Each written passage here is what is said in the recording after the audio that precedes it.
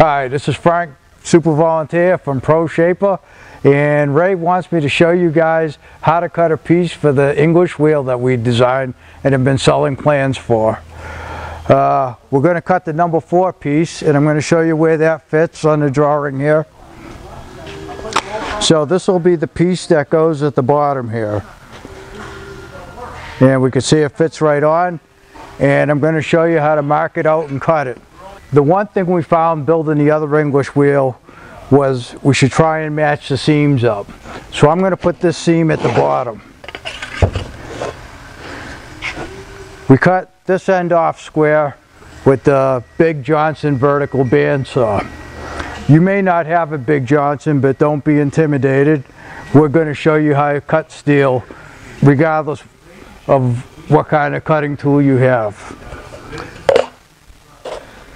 Now, what I'm going to do is hold this flat against here, put this here, and I'll make my mark for the 45 degree angle.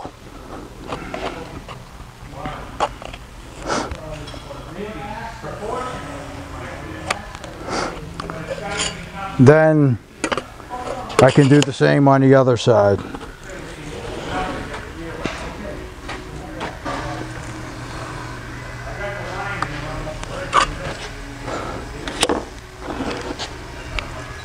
I have a square here where I can, here again, hold this up right on my line.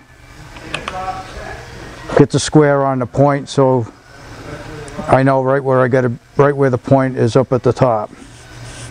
And I'll do the same at the bottom.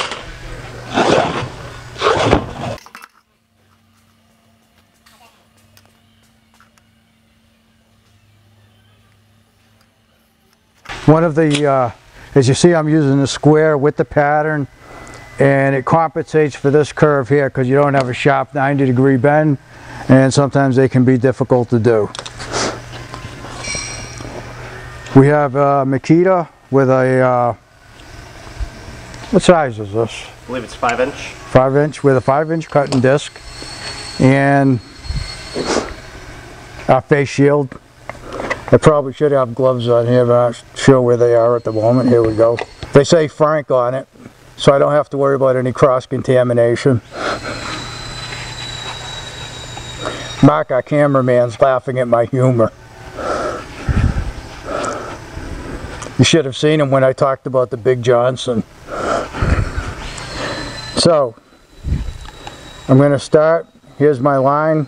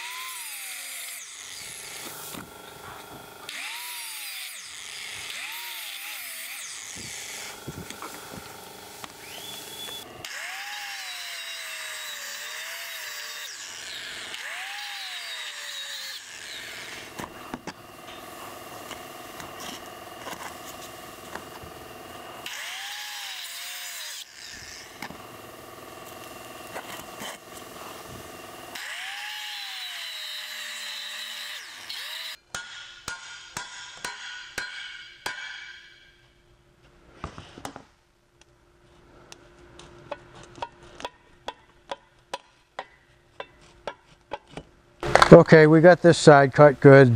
This side needs a little touch up.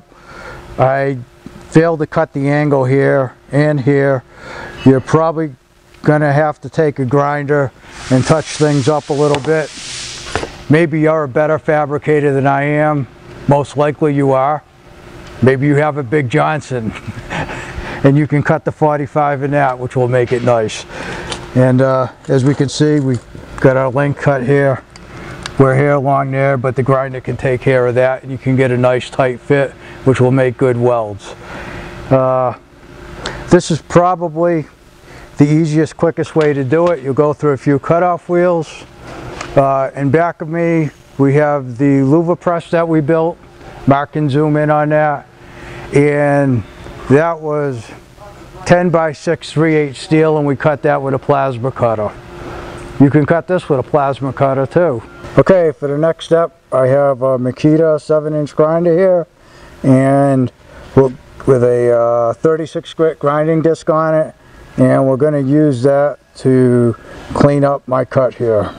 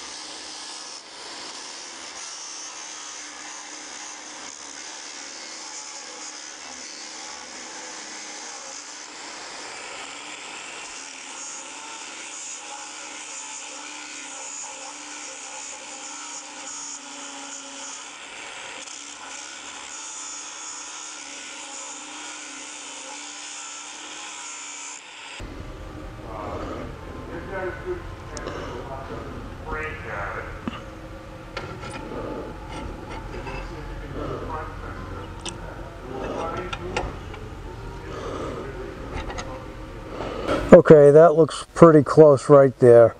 Um, one of the difficulties in cutting this is this stuff is not exactly square, so you kind of got to work around the curves and whatnot. You'll see that this isn't necessarily, if you draw a line square here and here, it may not come out exactly alike. You kind of got to be careful with what you do. Uh, the nice thing about welding is it's easy to fill stuff in for guys like me anyways.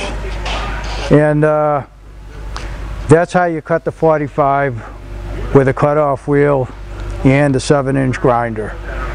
We uh, we also tried, I don't have it here, but one of those metal cutting blades on a skill saw and that cut the stuff pretty good but it uh,